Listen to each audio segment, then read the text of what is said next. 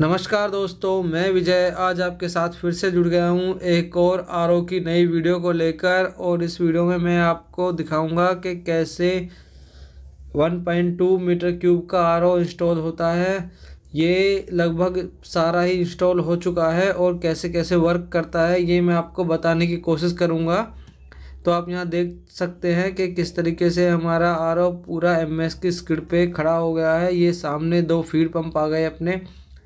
जो पानी को फ़ीड करेंगे डीएमएफ की तरफ़। डीएमएफ वो होता है डुअल मीडिया फ़िल्टर ये सामने जो खड़ा है, ये है डुअल मीडिया फ़िल्टर इसके अंदर ग्रेवल पेबल्स होते हैं, जिसके थ्रू पानी पास होता है और पानी में से मिट्टी वगैरह हट जाती है। यहाँ पे आप देख सकते हैं कि रोटा मीटर भी है।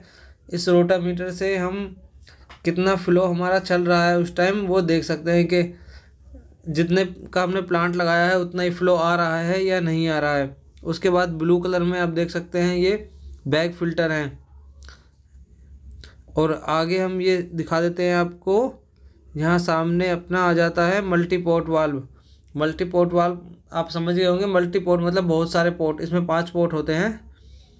जहाँ से पानी आता, जाता ड्रेन होना रिंस होना, सब कुछ होता है। ये ज़्यादातर हमारा फ़िल्टर पे लगाया जाता है M G F A C F पे लगाया जाता है। ये आपके सामने आ गया है एक वाल्व अपना, जिससे हम पानी को कंट्रोल करेंगे।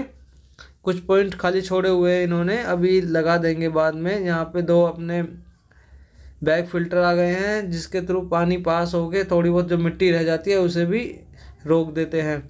यहाँ पे अपना हाई प्रेशर पंप है, जिसकी लाइन आगे आरओ में जाके जुड़ जाएगी। ये आर की प्रेशर वेसल है वाइट कलर की, इसमें जुड़ेगी।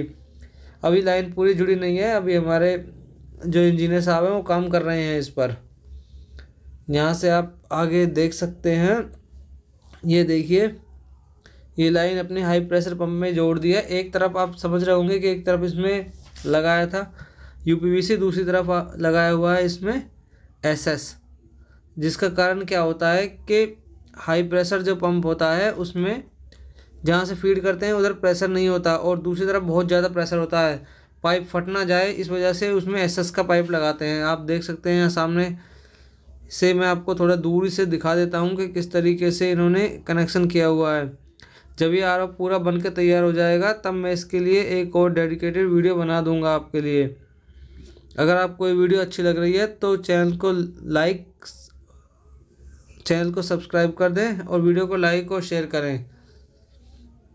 यहाँ पे देखिए आप किस तरीके से हमने पोर्ट छोड़े हुए हैं। ये फ़ीड का पोर्ट है।